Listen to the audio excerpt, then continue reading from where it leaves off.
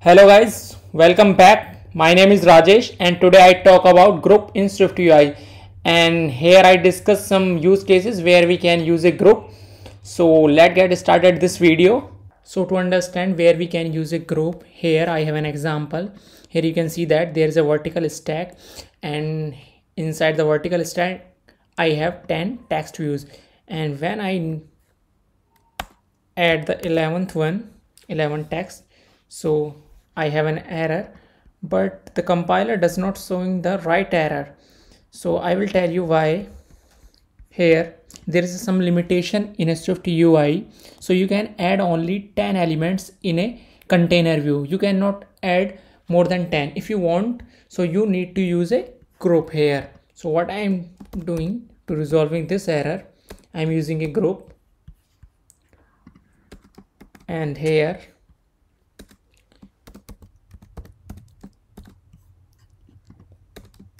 here you can see that the error is gone. So if you want to add more than 10 elements in a view so you have to use a group.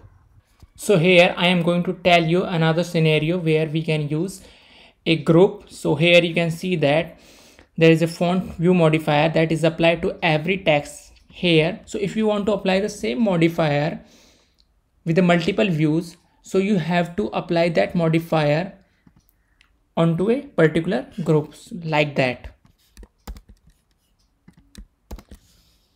So that view modifier is applied automatically to the child view inside a group. So you do not need to use a view modifier here on every text. It apply automatically